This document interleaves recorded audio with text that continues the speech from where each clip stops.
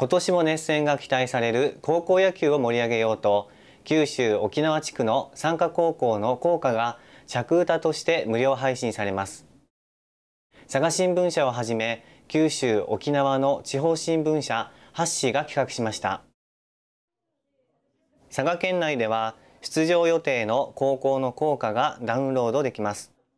木山町の東明館高校では1日音楽部や生徒会などおよそ50人が集まって録音しました。